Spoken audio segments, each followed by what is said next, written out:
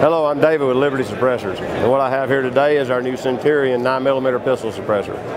This suppressor was designed by customer request. We've been getting requests for a shorter Mystic for five years. Well, if we finally listened.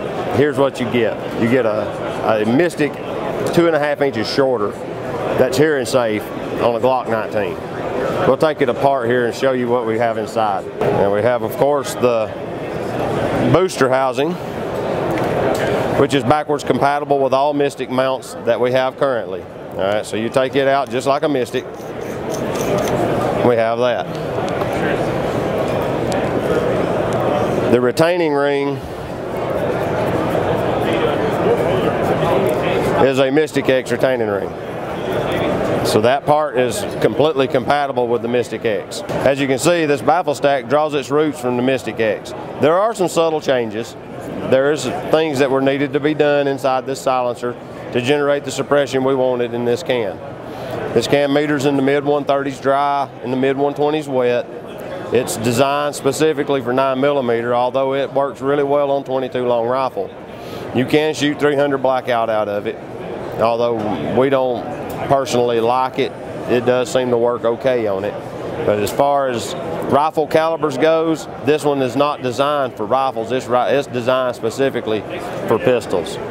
So this is the debut silencer that we brought to SHOT Show 2016. What this is, is the Cosmic. This is our 45 multi-purpose suppressor that we released last, I think it was November. It's um, currently mated to one of the new Dan Wesson 45s. This is the discretion that they loaned us for SHOT Show.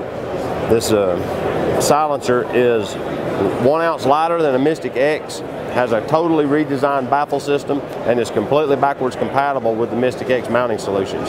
So what we have here is the core out of the Cosmic. As you can tell, the baffle geometry is a strong divergence from the Mystic X design. This silencer is optimized for 45 ACP. This suppressor works really well in 45. It carries a lot of the feature sets that the 40 that the Mystic X has, such as we use stainless steel in the core to uh, reduce cost. This is perfectly fine material for 45, so there's no real need to make it out of titanium and, and add all of that manufacturing cost and expense. So this keeps the suppressor really, really manageable in price. What it also does is allows us to cut it really thin because stainless steel is really strong. So we actually have this silencer one ounce lighter than a Mystic X core.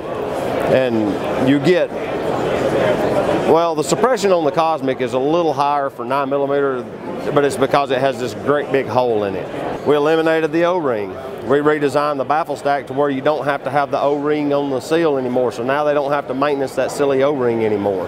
It simplified that process. There's no putting it together wrong. There's no putting in the baffles backwards. There's no orientation issues. You slide the tube off, you clean the baffles, you put the tube back on. It's simple.